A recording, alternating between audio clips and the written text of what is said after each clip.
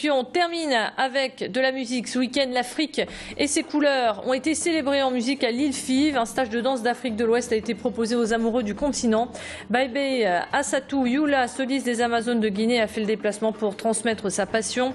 Ici, la musique se fait en live avec des percussionnistes. Une journée organisée par l'association Corps et âme. Je vous propose d'ailleurs de découvrir en images un aperçu de cette journée.